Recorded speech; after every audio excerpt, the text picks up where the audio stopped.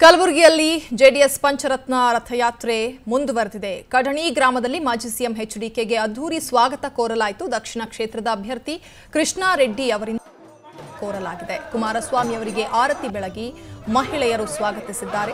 JCB ಮೂಲಕ ಪುಷ್ಪಾರ್ಚನೆ ಮಾಡಿ ಎಚ್ಡಿ ಕುಮಾರಸ್ವಾಮಿ ಅವರಿಗೆ ಸ್ವಾಗತ ಕೋರಲಾಯಿತು.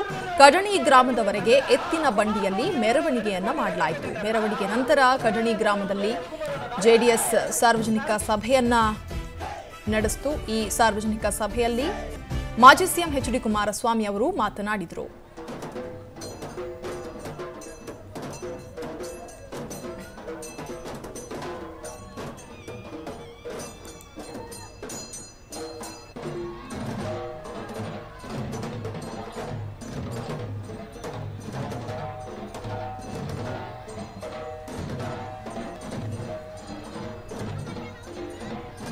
P M E G P scheme ಅಡಿಯಲ್ಲಿ ಹತ್ತು ಲಕ್ಷ ಸಾಲ ತಗೊಂಡು ಸ್ವಂತ ಬಿಸ್ನೆಸ್ ಶುರು ಮಾಡಬೇಕಾ?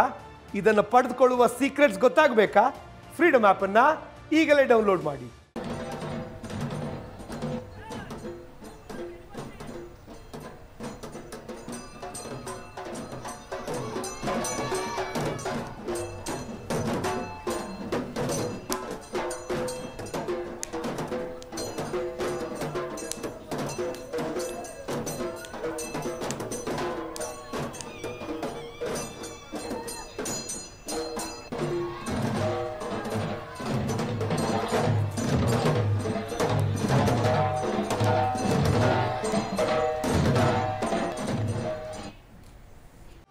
ಜಿ ಪಿ ಸ್ಕೀಮ್ ಅಡಿಯಲ್ಲಿ ಹತ್ತು ಲಕ್ಷ ಸಾಲ ತಗೊಂಡು ಸ್ವಂತ ಬಿಸ್ನೆಸ್ ಶುರು ಮಾಡಬೇಕಾ?